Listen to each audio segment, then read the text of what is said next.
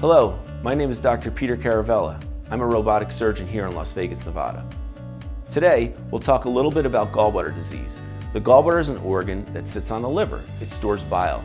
Bile acts like a soap, so it helps to digest oily and fatty foods. The gallbladder can form stones. These stones can get stuck along the bile duct and cause pain or infections. Sometimes, if the stones get caught into the common bile duct, it can cause yellowing of the skin called jaundice. If the stone gets stuck near the pancreas, it can also cause pancreatitis. If any of these things occur, it is important to remove the gallbladder along with the stones inside to prevent this from occurring again. Unfortunately, there's no way to just remove the stones, and there's no effective medicine to dissolve the stones. Most people have no issues after their gallbladder is surgically removed. If you have more questions or believe you may have a problem with your gallbladder, please call us and schedule an appointment. Thank you.